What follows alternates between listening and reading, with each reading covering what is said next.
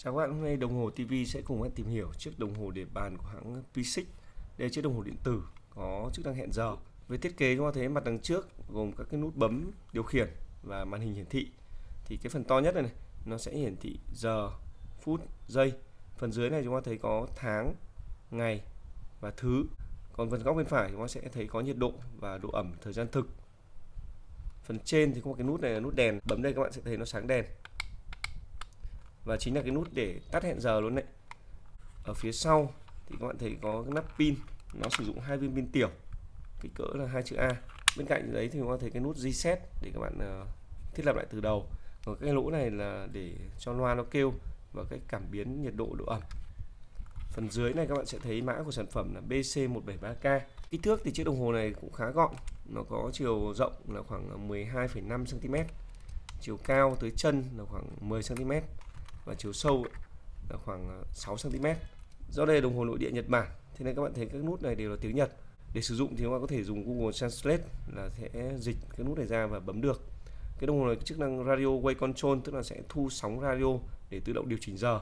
Tuy nhiên ở Việt Nam thì cái chức năng này cũng không có tác dụng nhiều. Điều đặc biệt của chiếc đồng hồ này nó có thể hẹn giờ hai khung giờ. Các bạn thấy có nút tắt mở của hẹn giờ khung số 1 này.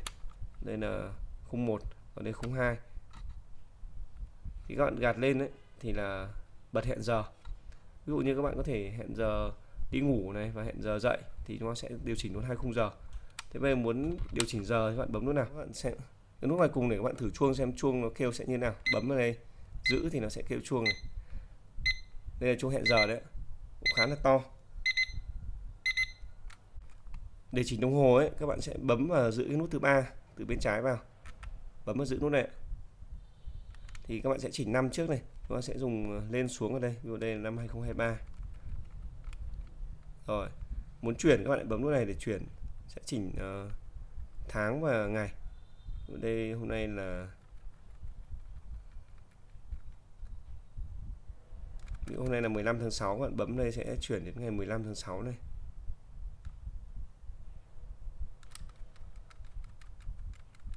Thì thứ nó sẽ tự nhảy nhé à, bấm nút tiếp theo chúng ta sẽ chỉnh giờ. Giờ thì sẽ có giờ sáng và giờ chiều ạ.